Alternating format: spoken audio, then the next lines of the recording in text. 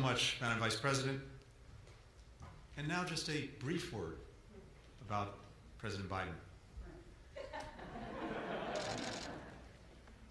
No one has ever brought as much foreign policy expertise and experience to the presidency as Joe Biden.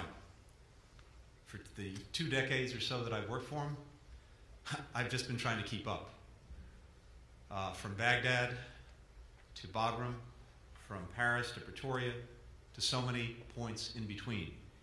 It's been one of the great privileges and pleasures of my life uh, to watch President Biden in action across the globe. And I know from seeing him in action that he believes profoundly in leading with diplomacy, mobilizing our friends and allies to work together in common cause. As important, he welcomes new ideas, dissenting views, rigorous debate. He wants to ensure that our foreign policy stays innovative and creative, so it doesn't just respond to global events, it actually helps to shape them.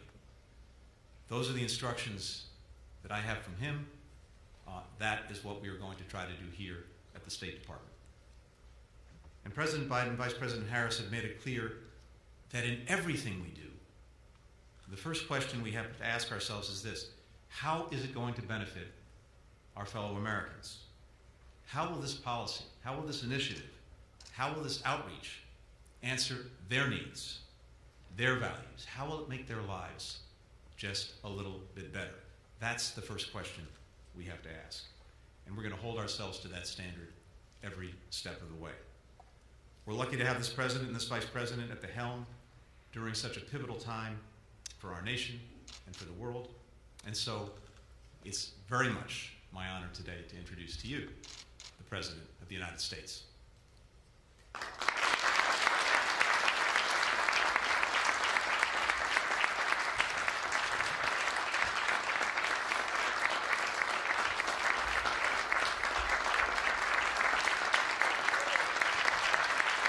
Thank you. Thank you, thank you, thank you. Thank you, Mr. Secretary. Thank you uh, for welcoming the Vice President and me uh, back to the State Department. It's true the Secretary and I have worked together a long time, and uh, I know uh, I know that he has the background, the capacity needed to, uh, quite frankly, uh, lead the State Department at a critical moment. This has been a difficult few years. I've been hanging around as the Foreign Relations Committee and as chairman and then as vice president and now as president uh, for a long time dealing with state. Those of you who work here, including the new class of uh, diplomats that we that are on uh, on the screen behind me, um, you're among the brightest, most involved, best educated group of people America has to offer. And uh, but I come today uh, to talk uh, to everyone at uh, Main State, watching remotely, and uh, and those who will not be able to see this but will hear about it. You know, uh, an incredible group of diplomats that I've had a chance to work with, and what we never talk about is you not only have great intellectual capacity, you have great personal courage. I've been with some of you when we've been shot at. I've been with some of you when we've been in places that you would have not have any idea you'd want to be when you were going to school foreign policy and the foreign service. They never told you what that was going to happen. But you're an incredible group of individuals. And I've said many times over the years, uh, those of you who are stationed uh, um, overseas and have been stationed overseas, you're America's face. You're what people see in the country you are. They look at you. You are the face of America. And it matters. It matters a great deal how you comport yourself and how you deal with the folks that you're dealing with in that particular country. I find it, um, uh, many of you among uh, the most uh, incredible, and by the way, I think what we don't do enough, we don't thank your families. We don't thank your families for the sacrifices they make. They make sacrifice, real sacrifices. I don't know how many times uh, I have moved, uh, I may again uh, move to see to it that uh, your spouses, they give up their careers uh, many times to follow you. Many times their careers are as consequential or more consequential than yours, but they do it for the country. And uh, they're to be thanked. But the main message that I want to communicate to you all is that uh, whether you're part of the newest class of Foreign Service officers, you've worked for decades in the civil service or foreign service, or your locally employed staff, your vital and success and strength of our nation depends in no small part on you. Later today, I'm going to go up on the eighth floor and send a clear message uh, to the world. America is back. America is back. Diplomacy is back. You are the center of all that I intend to do. You are the heart of it. We're going to rebuild our alliances. We're going to re engage the world and take on the enormous challenge we face dealing with the pandemic, dealing with global warming, and again, standing up for democracy and human rights around the world. Again, as I said, you're the face of America abroad. And in our administration, you're going to be trusted and you're going to be empowered. Trusted and empowered to do your job. But I ask each of you to abide by a few core tenets integrity in all you do.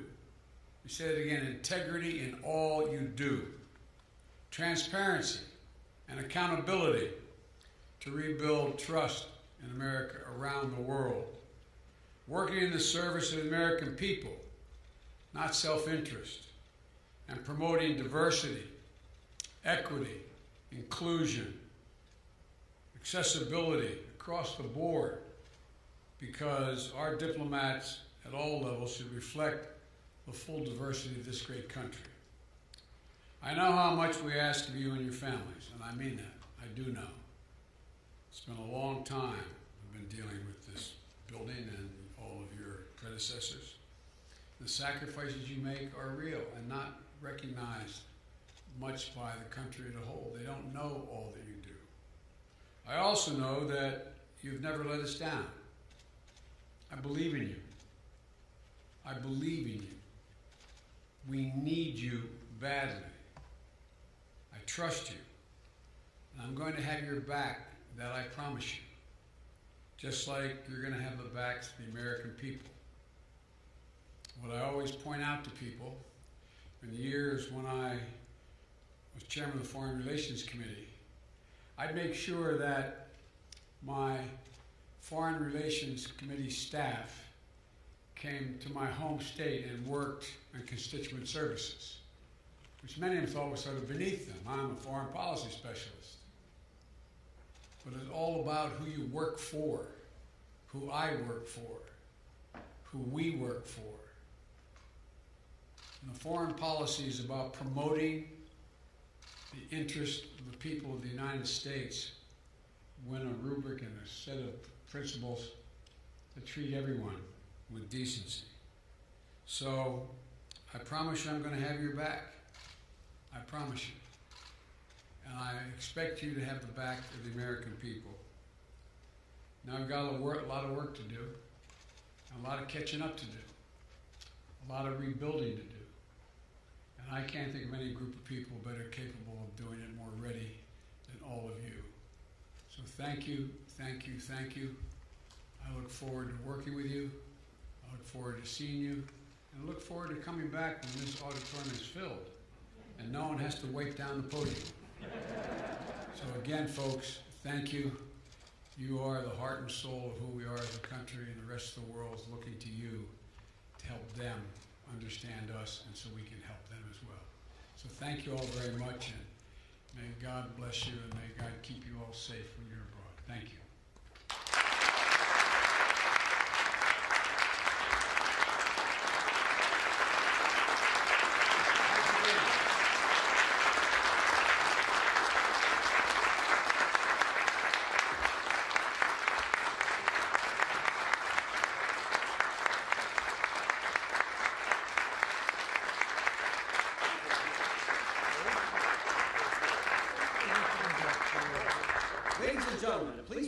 Until the departure of the official party.